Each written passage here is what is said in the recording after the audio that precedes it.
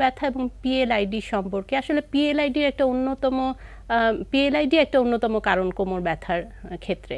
PLID বিষয়টি কি? ধন্যবাদ। আসলে ব্যাক পেনের রোগী যেভাবে বেড়ে যাচ্ছে, এটার সবাই আমরা কারণ নির্ণয়ে বেশি ব্যস্ত। কারণ হচ্ছে, প্রত্যেকটা রোগেরই কোনো না কোনো নির্দিষ্ট কারণ আছে।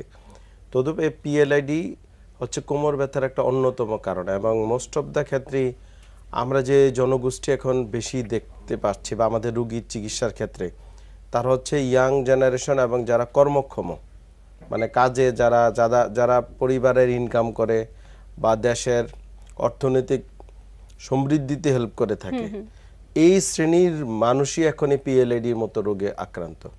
এবং যার কারণেই আমরা এখন আসলে পিএলআইডি রুগী যেভাবে বেশি পাচ্ছি তদ্রুপ পিএলআইডি রুগী যেভাবে কমানো যায় যত দ্রুত সম্ভব রুগীকে চিকিৎসা আনা যায় কত বেশি প্রিভেনশানে নেওয়া যায় এটা নিয়ে আমরা বেশি কাজ করার চেষ্টা করছি। তো পিএলআইডি এর আমরা যদি ইলাবোরেশন দিয়েছি প্রোলাপস ইন্টারভার্টেব্রাল ডিস্ক এখন প্রোলাপসটা যদি ঘাড়ে হয় তাহলে সার্ভাইকাল ইন্টারভার্টেব্রাল ডিস্ক বা ডরসালে যদি হয় থোরাসিক ইন্টারভার্টেব্রাল ডিস্ক বা লাম্বার ইন্টারভার্টেব্রাল ডিস্ক তো সাধারণত লাম্বার এবং সার্ভাইকেল এই দুইটা জায়গায় ডিক্সের প্রলাপসটা সবচেয়ে বেশি হয়ে থাকে। এই দুটো জায়গাতেই বেশি প্রলাপস হওয়ার কারণটা কি? হ্যাঁ ধন্যবাদ। আসলে আমাদের কাজকর্ম চলাফেরা অ্যাক্টিভিটিস বা আমরা যদি কোনো কারণে কেউ আঘাত পায় বা কোনো কারণে কোনো যে কোনো অ্যাসাল্ট ইঞ্জুরি বা কাজের ধরনের ক্ষেত্রে মুভমেন্টের ক্ষেত্রে একেবারে ইভেন কি শোয়া বসার ক্ষেত্রেও এই কোমর এবং ঘাড়ের যে সি কার্ভ থাকে এবং দুইটাই কিন্তু সামনের দিকে উত্তল। দুইটি কনভেক্স সামনের দিকে যেটা হচ্ছে ইংরেজি সি অক্ষরের মতো। তো এই সি অক্ষরের মতো এটা হচ্ছে কিন্তু সিটা হচ্ছে পিছনটা উত্তল। এটা উল্টিয়ে যদি দিই আমরা সামনের দিকে উত্তল কার্ভের মতো। এই উত্তল জায়গায় সবচেয়ে বেশি মুভমেন্ট হয় মানুষের এবং ভালনারেবল জায়গায় দুইটা জায়গায়।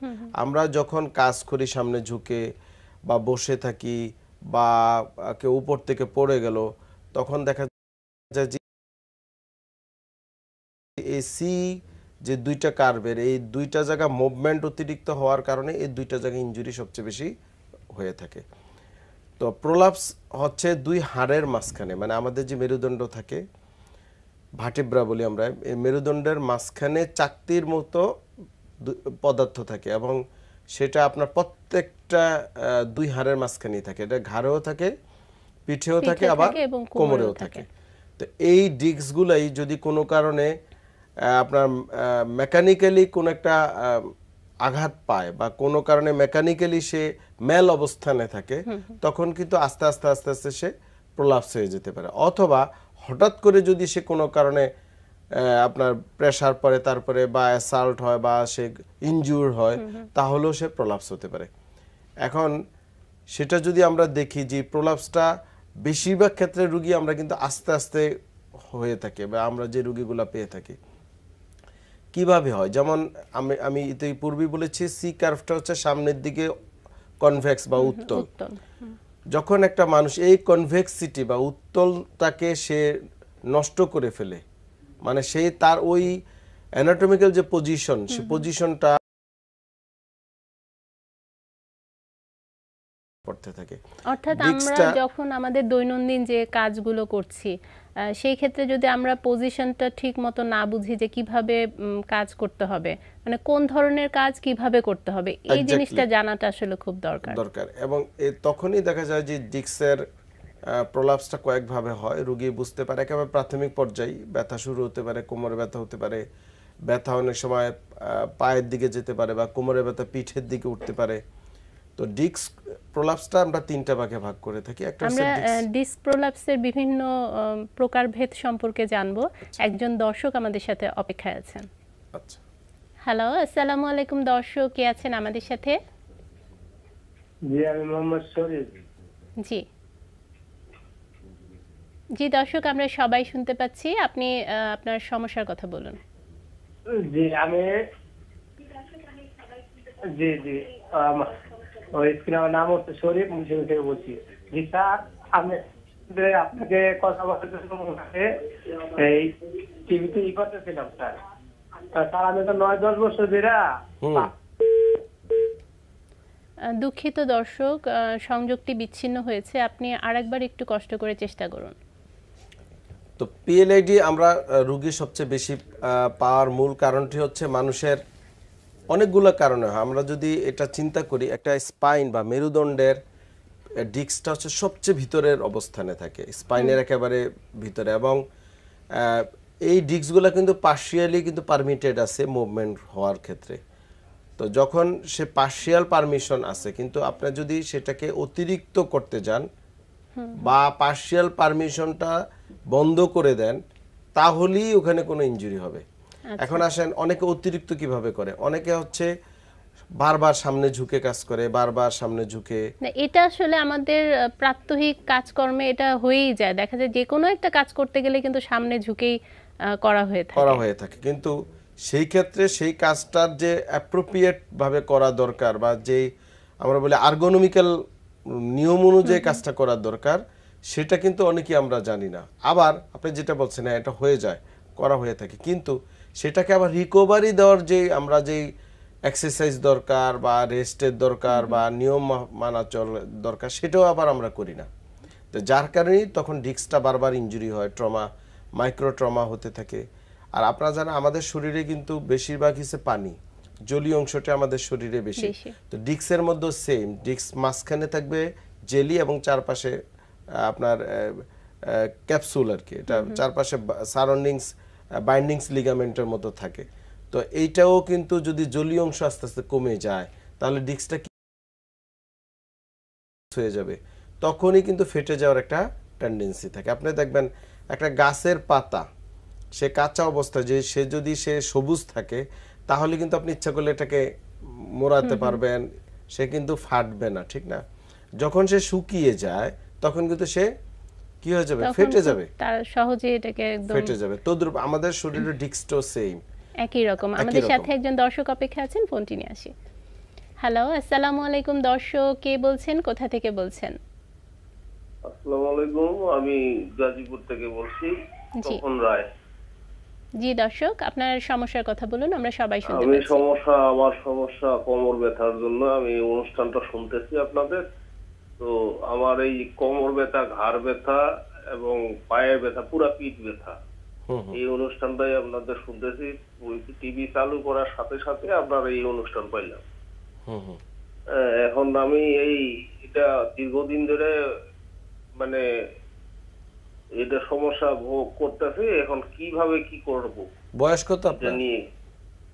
আমার বয়স বিয়াল্লিশ। আচ্ছা এই ঘাড় এবং কোমর ব্যথা কি ঘাড় আর কোমরেই থাকে নাকি হাতের দিকে যায়? পা ঝিঝি করে অবশ করে? হাত পার দিকে যায় হাত পার দিকে যায় খুব যদি পরিশ্রম করি যে পুরো শরীর ব্যথা করে আচ্ছা। বা কোনো ডাক্তার দেখাচ্ছেন বর্তমানে? চিকিৎসা বলতে কি কিছুদিন আগে জ্বর ছিল। জ্বরের পরিবর্তে জ্বর সারছে ওনার মানে ফার্মেসি থেকে ওষুধ খাচ্ছিলাম। ওই ওষুধই খাচ্ছি এখনও। হুম। এখন এখন জ্বর তো নাই হ্যাঁ? এখন এই কোমর ব্যথাটা। কত বছর ধরে আপনার ঘাড় এবং কোমর ব্যথা? কোমর ব্যথা মোটামুটি প্রায় পাঁচ বছর যাব আচ্ছা আপনি কি করেন? আমি রাজের কাজ করি। আচ্ছা ভারী কাজ করতে হয় ঠিক না? হুম। ধন্যবাদ আমি উত্তর দিচ্ছি। এই যে যারা ভারী কাজ করে ভারী পেশাজীবী তারপরে ডেস্ক জব ওয়ার্কার সামনে ঝুঁকে ঝুঁকে কাজ করে। মানে এখন আমাদের হচ্ছে প্রত্যেকটা কাজের ক্ষেত্রেই যদি সাবধান না হয় যে যেই কাজ যে পেশাজীবী হোক তখনই কিন্তু এই ডিস্ক প্রলাপস বা পিএলআইডি হওয়ার সম্ভাবনা সবচেয়ে বেশি হয়ে থাকে। তো রাজ যারা কাজ করে তাদের হচ্ছে ভারী কাজ করতে হয় মানে ইট বা বালি বলেন এগুলা বারবার উঠাইতে হয় নামাতে হয়। এই যে এই কাজগুলা করার ক্ষেত্রে আগে ফিজিক্যালি তাকে ফিট হইতে হবে। এই ফিজিক্যাল ফিটনেসটা খুবই ইম্পর্টেন্ট হঠাৎ করে কাজ শুরু করে কারণ একটা মানুষ যখন রাজের কাজ করে বা ভারী কাজ করে সে ইয়াং থাকে তার শরীরে এনার্জি বেশি থাকে। তখন শরীরে অতিরিক্ত শক্তি ব্যয় করেও সে কাজটা করে বা করতে পারে। কিন্তু এটা যে একটা এই কাজটা করার ক্ষেত্রে যে তার কিছু নিয়ম আছে সে কিন্তু মেকানিক্যালি বেনিফিট নিতে পারে এইটা কিন্তু মানুষ জানে না। বা এই জানার অভ্যাসের কারণেই এই রুগীগুলা তৈরি হয় বা এই রোগগুলা পিএলআইডি হয়ে থাকে। প্রত্যেকটা পেশার আগে আপনার তার ট্রেনিং দরকার। প্রত্যেকটা পেশা পেশা যে কোনো পেশায় যাওয়ার আগে তার ট্রেনিং দরকার এবং গ্রস আমি এর আগে বলছি যে গ্রস অ্যাক্টিভিটি করা দরকার। কীরকম? যে একটা কাজ করার আগে তাকে ফিজিক্যালি সে আসলে ফিট কিনা। এই কাজটা করার ক্ষেত্রে। তার সে পর্যাপ্ত রেস্ট নেই কিনা। যেমন উনি হয়তো আট ঘণ্টা কাজ করল বা দশ ঘণ্টা করল। এরপরে গিয়ে উনি এই শরীরটাকে কারণ উনি তো অত্যধিক পরিশ্রম করছে সেটা সে আবার রিকভারি স্টেজে দিচ্ছে কিনা এগুলো একটা ইম্পর্টেন্ট তো আমাদের দেশে এই জিনিসগুলা কিন্তু নাই বা এই এডুকেশনগুলা এখনও রুরাল বা আমি বলব মানে ওইভাবে কিন্তু আমরা এখনও সচেতন হতে পারি না যার কারণে ওনার এই সমস্যাটা দেখা দিয়েছে। তো আপনি কাজের ক্ষেত্রে আমরা কিন্তু হাজারবার বলছি আমাদের চ্যানেল বা ইউটিউবে দেখবেন সামনে ঝুঁকে ভারী কাজ করাটা, টান দেওয়া এগুলান কিছু নিয়ম কানুন আছে, এগুলো আপনাকে জেনে নিতে হবে, যেটা আমরা বলি আর্গোনমিক্যাল রুলস বা কাজের ক্ষেত্রে নিয়ম। তো এগুলো জেনে কাজ করবেন, আর আপনার যেহেতু দীর্ঘমেয়াদী হয়েছে, আমার মনে একটা এমআরআই করে দেখতে হবে, পুরা মেরুদণ্ডটা। এমআরআইয়ের পরে আপনাকে হয়তো বিভিন্ন এক্সারসাইজ বিভিন্ন চিকিৎসার মাধ্যমে আপনার এটা সমাধান হবে। তো আপনার এই কাজের ক্ষেত্রে একটু সাবধান হন যেমন ভারী কিছু টান দিতে গেলে হাঁটু ভেঙ্গে বসে দেন উঠাবেন। বা আরেকজন দুজনে মিললে একটা বস্তা উঠাবেন হ্যাঁ? এই যে আর্গোনমিক্যাল বেনিফিট নিতে হবে কাজের ক্ষেত্রে। এই সকল কারণেই আসলে এই বেশিরভাগ ক্ষেত্রেই এই জাতীয় সমস্যাগুলো হয়ে থাকে। আমি এবারে চলে যাচ্ছি আমাদের আজকের অতিথি মোহাম্মদ শহীদুল্লাহ ভাই। আপনার শুরুতে কি ধরনের সমস্যাটা ছিল এবং আস্তে আস্তে আপনার এখন বর্তমান অবস্থাটা কেমন হয়েছে এবং আপনার পেশাটা যদি একটু বলতেন? পেশাটা আমি একটা প্রাইভেট ফার্মে জব করি। আচ্ছা। আর আমার শুরুটা হয়েছে মূলত যখন লং টাইম বসে কাজ করতাম তখন দেখা যেত পেনটা আসতো। হুম হুম। এভাবেই আস্তে আস্তে পেন হইতে থাকে। পরবর্তীতে গত তিন বছর আগে আমি একটা রাস্তায় যাওয়ার সময় টেম্পুতে যাওয়ার সময় প্রচণ্ড আঘাত পাই কোমরে। আচ্ছা। ওই আঘাত থেকে আমি নেক্সটে তিন দিন ব্যথার কারণে শোয়া থেকে উঠতে পারিনি। হুম হুম। এই তিন দিন পরে রেস্ট নেওয়ার পরে মোটামুটি এটা ভালো হয়ে গেছে ওষুধ খাওয়া লাগে নাই। আচ্ছা। এরপর থেকে এই সমস্যাগুলো আস্তে আস্তে বাড়তে থাকে। একটা ব্যাপার হচ্ছে আপনার অনেকটা লম্বা সময় বসে কাজ করতে হয়। এবং আরও একটা ব্যাপার হলো একটা আঘাতেরও আঘাতেরও একটা ইয়ে ইতিহাস আছে। তারপরে আপনি কি করলেন কোথায় আসলেন কীভাবে ট্রিটমেন্ট নিলেন? এরপর আমি এরপর দুই বছর ওষুধ খাইছি ভালো হয়েছি ওষুধ খাইছি ভালো হয়েছে বিভিন্ন ডাক্তার কাছে আচ্ছা। গিয়েছিলাম। তারপর নেক্সট যে গত জানুয়ারিতে। আমার ব্যথাটা কোমর থেকে পায়ের দিকে চলে যাচ্ছে। এটা যেটা আগে ছিল না। জানুয়ারি থেকে এই সমস্যাটা হওয়ার পরে আমি একজন প্রথমে একজন অর্থোপেডিক ডাক্তার দেখিয়েছিলাম। তো উনি আমাকে এক মাসের ওষুধ দেওয়ার পরে ওষুধটা খাওয়ার পরেও আমার ব্যথাটা কমছে কিন্তু পুরোপুরি সমাধান হয়নি। তারপর বিভিন্ন ইউটিউব সার্চ করার পরে স্যার কাছে আসার আগে আরেকটা প্রতিষ্ঠানে এরকম ফিজিওথেরাপি সেন্টারে গিয়েছিলাম। ওখানে এগারো দিন ট্রিটমেন্ট নিয়েছিলাম। আচ্ছা। ওখানে আমার এগারো দিনে তেমন কোনো অগ্রগতি হয় নাই। তারপর অনেক ঘাটাঘাটি করার পরে ইউটিউব ঘাটাঘাটি করে স্যার ইয়েটা পাইলাম। আচ্ছা। তারপর স্যারের কাছে আসা। আমরা আরও আপনার সাথে কথা বলব। আবারও আসব আপনার কাছে। একজন দর্শক আমাদের সাথে অপেক্ষায় আছেন। ওর ফোনটি নিয়ে আসি। হ্যালো আসসালামু আলাইকুম দর্শক। কে আছেন আমাদের সাথে? হ্যালো। জি দর্শক আমরা সবাই শুনতে পাচ্ছি। পরিচয় দিয়ে আপনার সমস্যার কথা বলুন। আমার নাম শাহনাজ পারভিন আমি খুলনা থেকে বলছি। জি। আমার হলো আপনার অনেক দিন ধরেই হাতে পায়ে খুব ব্যথা। হুম। পুরো শরীরের জয়েন্ট জয়েন্টে ব্যথা করে। আমার প্রথমে আপনার বাম হাতের বাজুতে ব্যথা করতো। তার এক দেড় বছর পরে যে আবার ডাইন হাতের বাজুতে ব্যথা শুরু হয়েছে। তখন আমি ডাক্তার দেখাইছি ডাক্তার অর্থোপেডিক্সের ডাক্তার দেখাইছি দেখাই ওষুধ খাইছি। খাওয়ার পরে আমি দুই তিন মাস ভালো ছিলাম। পরে আমার ব্যথা আবার পুনরায় শুরু হয়েছে এখন আমার এই যে আপনার হাঁটুর নিচের যে মাংসপেশি এই মাংসপেশিতেও প্রচণ্ড ব্যথা করে। এবং হাত দিয়ে আমি যদি একটু পরিশ্রম করি একটু ধরেন পাঁচ লিটার পানি উঁচু করলাম তখন আমার এই হাতের জ্বালা যন্ত্রণা শুরু হয়ে যায়। এবং হাতের কবজিতে ব্যথা করে আঙ্গুলগুলো এরকম ই করতে পারি না। এই মুট করলে ব্যথা লাগে। তারপরে হাত থেকে পায়ের পাতার আঙ্গুলের গিরায় গিরায় ব্যথা লাগে। আমার পুরো শরীরেই প্রচণ্ড ব্যথা। আপনার ডায়াবেটিস আছে? জি না। বয়স কত আপনার? আমার বয়স হচ্ছে চল্লিশ। চল্লিশ। আগের ডাক্তার সাহেবরা কোনো রোগের কথা বলেছে নাম রোগের নাম এই রোগে আক্রান্ত?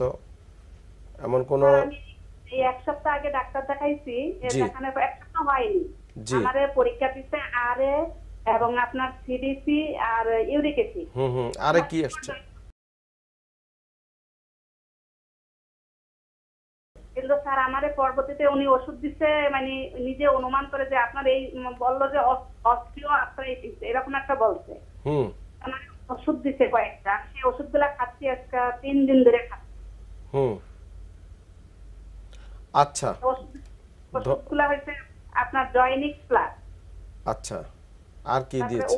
অস্ট্রিওডি হুম। আর ইন্ডুমেট আচ্ছা। আরেকটা দিচ্ছে কি? আপ- আপ- আপ- আপনি কি করেন? আপনি কি করেন? স্যার আমি গৃহিণী। যে আচ্ছা উত্তর দিচ্ছি আমি বুঝতে পেরেছি। আমরা দর্শকের প্রশ্নের উত্তরটি দিব একটা বিরতির সময় হয়ে গেছে। আচ্ছা। প্রিয় দর্শক আপনারা দেখছেন ডিপিআরসি অ্যাডভান্স পেইন ট্রিটমেন্ট আমরা এই পর্যায়ে একটি ছোট্ট বিরতি নিচ্ছি ফিরছি কিছুক্ষণ